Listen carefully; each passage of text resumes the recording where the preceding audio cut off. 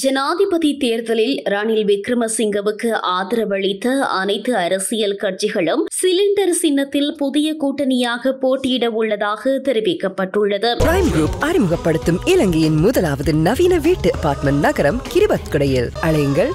சைபர் ஏழு சைபர் இரண்டு சைபர் நான்கு ஒன்று சைபர் நான்கு ஒன்று எதிர்வரும் பாராளுமன்ற தேர்தலிலேயே இவ்வாறு சிலிண்டர் சின்னத்தில் குறித்த கட்சிகள் போட்டியிட உள்ளன புதிய ஜனநாயக முன்னணியின் கீழ் இந்த கட்சிகள் பாராளுமன்ற தேர்தலில் போட்டியிட உள்ளதாக தெரிவிக்கப்பட்டுள்ளது எதிர்வரும் பாராளுமன்ற தேர்தலில் எவ்வாறு போட்டியிடுவது என்பது குறித்து இறுதி தீர்மானத்தை எட்டும் நோக்கில் நேற்று கொழும்பில் விசேட சந்திப்பொன்று நடத்தப்பட்டுள்ளது இதன்போது சிலிண்டர் சின்னத்தில் கட்சிகள் போட்டியிட தீர்மானித்துள்ளதாக குறிப்பிடப்பட்டுள்ளது இதற்கு தேர்தல் ஆணைக்குழுவும் அனுமதி வழங்கியுள்ளது கடந்த ஜனாதிபதி தேர்தலில் முப்பத்தி நான்கு அரசியல் கட்சிகள் மற்றும் அமைப்புகள் அப்போதைய ஜனாதிபதி ரணில் விக்ரமசிங்கவிற்கு ஆதரவாக பிரச்சாரத்தில் ஈடுபட்டிருந்தமை குறிப்பிடத்தக்கது